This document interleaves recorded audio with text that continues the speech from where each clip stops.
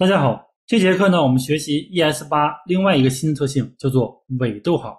其实这个非常简单啊，就是说我们在定义函数的时候，函数是不是可能会有一些参数？然后呢，一个一个参数的时候，当最后一个参数定义完成以后，后面呢，我们再多写一个逗号，就这个意思啊。它只是这是这种写法。我们看啊，直接举例子啊，我们再新建一个文件吧，四杠五，第五个 demo 啊，点 JS，然后呢，把它引进来。大家想一想，我之前我们都是怎么样定义函数的？比如说定义一个方式，f_o 嘛，然后呢，它后面是不是可能有些参数？比如说 a、b、c，对吧？然后呢，这里面呢输出 a、b 和 c。大家看啊，正常情况下我们这么写，对吧？然后呢，调用 f_o，比如说传递参数，比如说四、五、六。那这样的话，a 就是四，b 就是五，c 就是六，这毫无疑问，对吧？那再看啊。在 ES 八当中，允许我们在参数列表的后面再多写一个逗号，格式化一下，保存，你会发现它也不会报错，对吧？然后或者说我们在调用的时候呢，比如说这边也多写一个逗号，大家看，其实这时候也不会报错。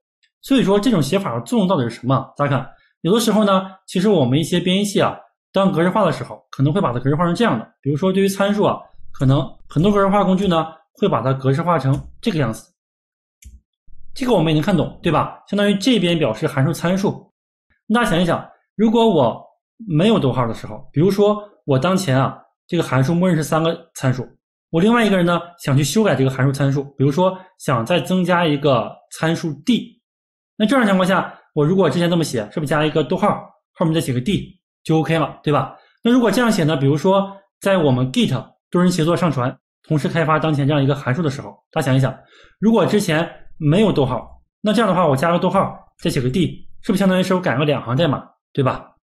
那如果之前另外一个同学已经写好了一个逗号，我当加 d 的时候，是不是相当于是只要改一行代码就行了？我说这个改指的是，当我们使用 Git 进行多人协作开发的时候，在解决代码冲突的时候这个问题啊。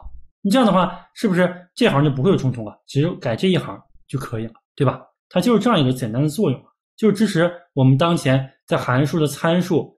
定义也好，或者在调用的时候，后面呢可以多写一个这样逗号，这样的话语法呢也没有错啊。其实真正把这个语法在编译成 ES 五浏览器认识这种语法的时候，其实呢它也会把这个后面逗号呢给它去掉啊。所以呢，这是 ES 八里面提出的一个很简单的一个特性啊，就是说我们对于函数的参数，然后呢最后一个参数的后面我们可以多加一个逗号，这个就是 ES 八里面提到的这样一个伪逗号的一种写法。